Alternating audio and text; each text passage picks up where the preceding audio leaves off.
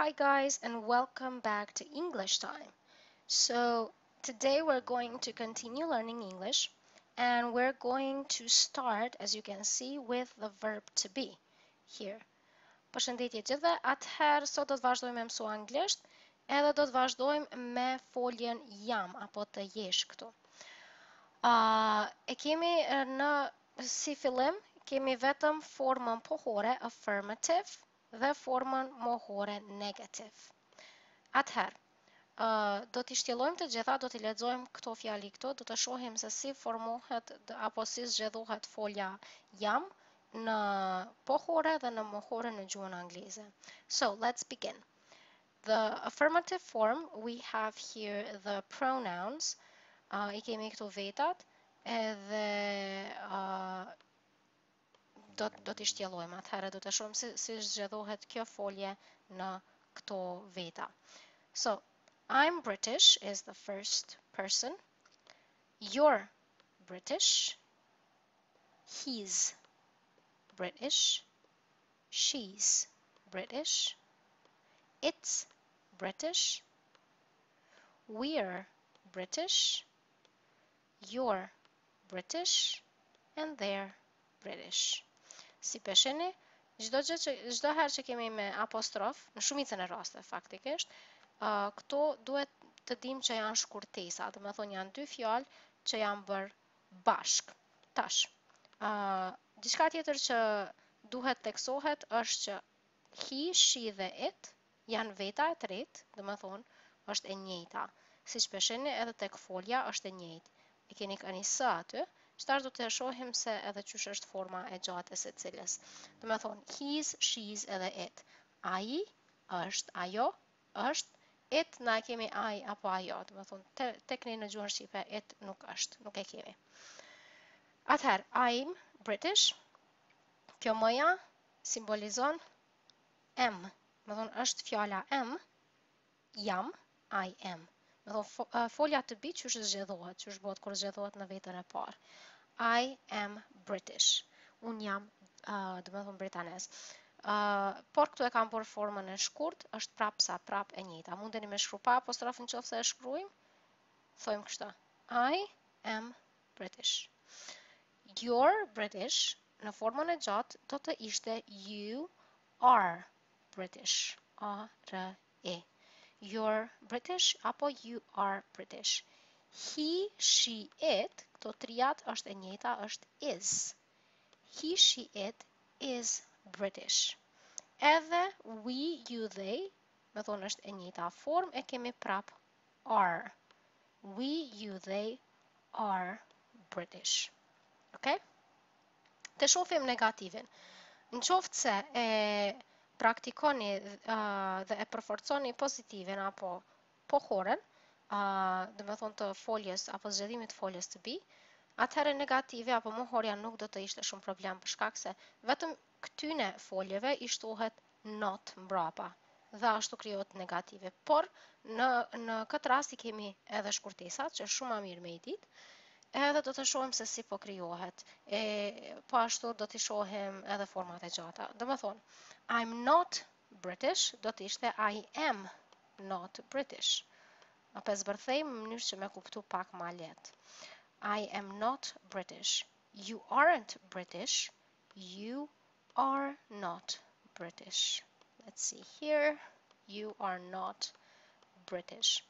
He's he, uh, or he isn't British, sorry.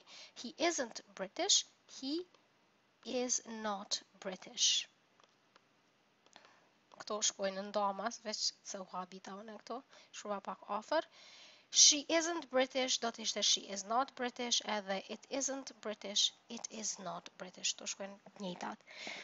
We aren't British, you aren't British, apo they aren't British, do të ishte e njëjta me We, forma e gjatë, we are not, we are not British, you are not British apo they are not British. Domethënë, kjo është zgjedhimi i foljes to be në pohore dhe mohore. Uh, Shpresoj që keni mundësi pak me u ndal edhe me i me i shiku pak ma ma tepër me i analizu pak me me provu me i mësu edhe pastaj me vazhdu me me videon edhe kemi disa ushtrime ku mundeni me i praktiku më tutje ë edhe me i ushtru ma shumë so let's continue let's clean the board okay So now we have fill in is am or are. Këto domethënë janë tri format e zgjedhimit të foljes to be apo foljes jam. Do t'i vendosim këto trija në vendet e duhura këto në uh, tekst. Atëherë, shiqoni mirë, domethënë, çfarë ka përpara, cila vetë është përpara, dhe mundohuni ta zbërtheni, domethënë, fjalinë në mënyrë që t'i zgjedhni sakt. So, e kemi hi, my name, is My name is Ana. And I, me I e patëm am, and I am 17. Mund ta provoni edhe vet ta bëni, ta ndalni videon një herë, pastaj me lëshu edhe me shiqu bashkë. I am 17 years old. From Canada. I, domethonë këtu e kemi I, I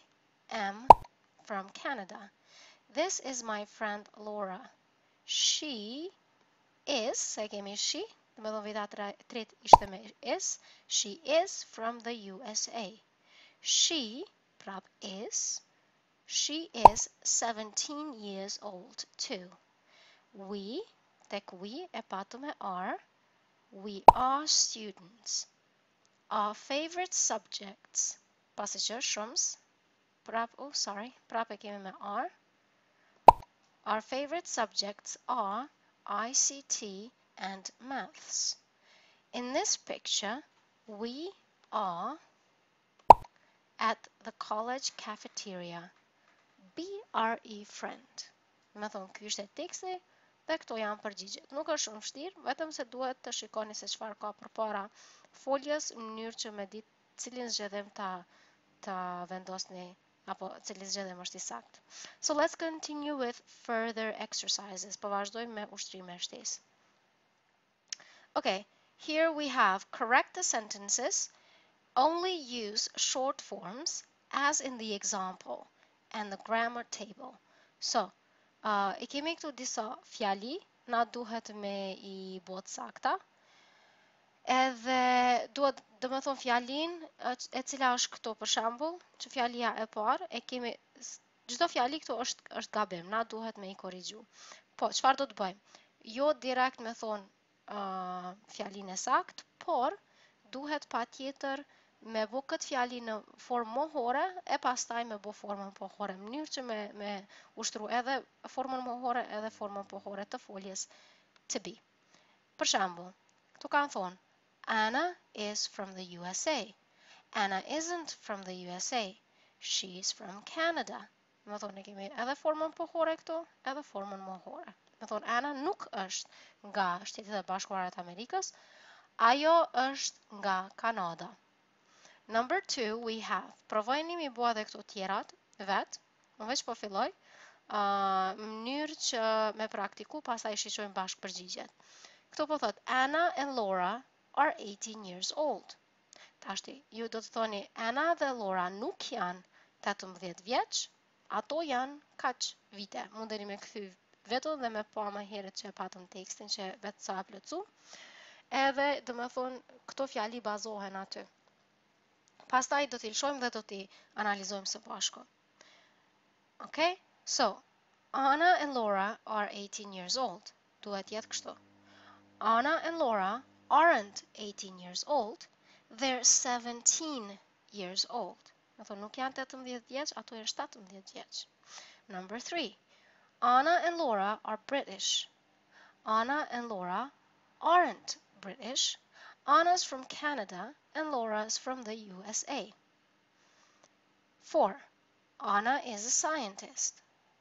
Anna isn't a scientist.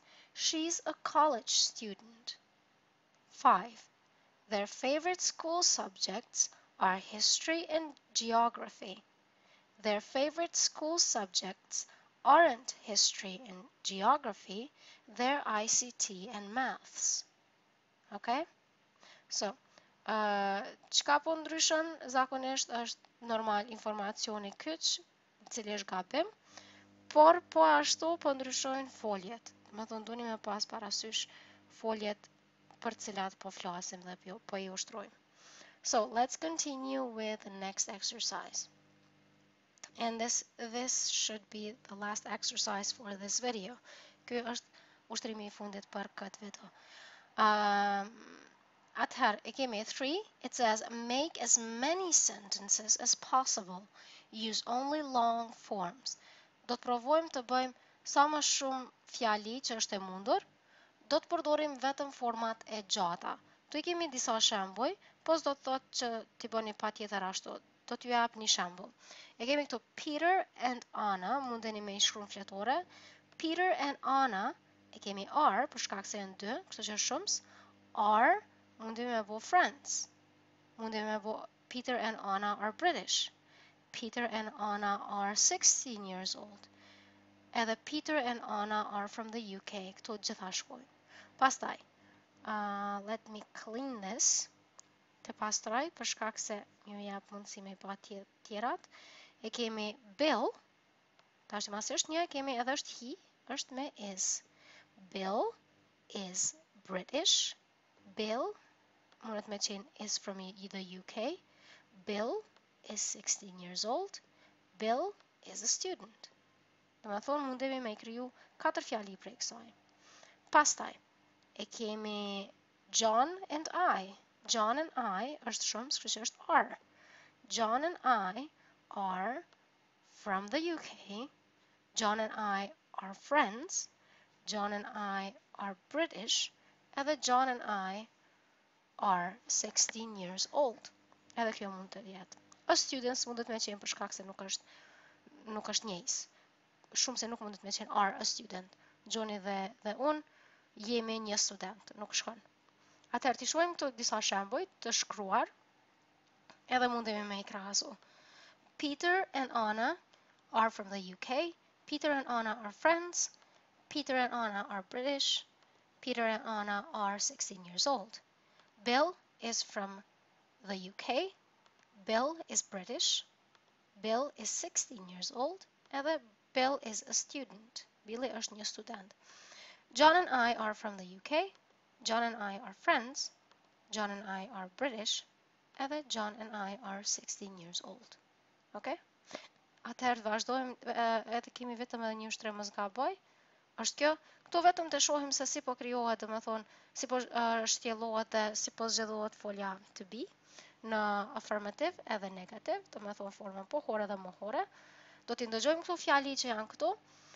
është mirë në qoftë se, qoftë se doni me praktiku edhe shqiptimin me i përsërit, fjali që i ndëgjoni, Edhe pastaj shpresoj që do të keni mundësi të praktikoni sa më shumë. So let's begin. We are from Japan. We aren't Russian. We are from Japan. We aren't Russian. Domethënë jemi nga Japonia, nuk jemi rus.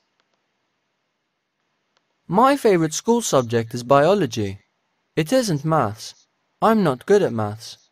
Domethënë, my favorite school subject is biology.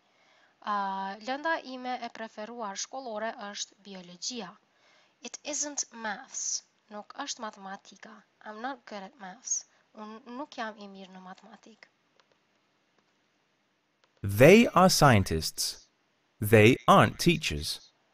They are scientists. Ata janë shkencëtar. They aren't teachers.